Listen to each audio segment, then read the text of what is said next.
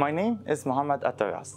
I'm 25 years old, originally from Rashaya Al Biqa, Lebanon, and I'm currently residing in Grenoble, France. I got my bachelor degree from the Lebanese University in general biochemistry.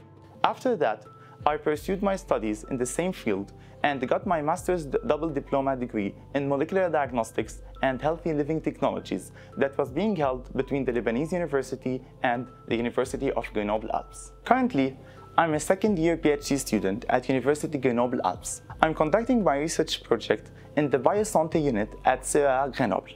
The studies that are carried out by our unit aims in covering the fundamental aspects of cell signaling and translational technology using biotechnological approaches such as genomics and proteomics. In my research project, I'm studying the non-SMAD signaling pathways that are triggered by BMP9 and BMP10 in endothelial cells. The ultimate goal of this project is to understand the involvement of BMP9 and BMP10 in the development of rare vascular diseases such as hereditary hemorrhagic telangiectasia and pulmonary arterial hypertension, and most importantly, to try to propose new therapeutic approaches.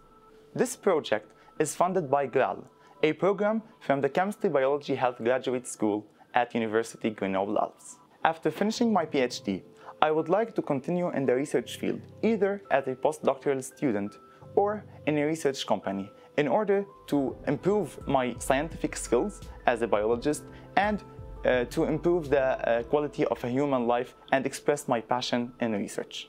Besides science, I'm always looking forward in order to, uh, to have my own family and try in order to enjoy every moment in this life. Because life is not always about working. We work so hard in order to achieve our goals. We fall a lot, but we always need to be stay positive and be proud of ourselves. My favorite activity in Grenoble is hiking and cycling. I do really like the nature in Grenoble, and I always look forward in order to discover these nice, nice landscapes that are present around the Alps.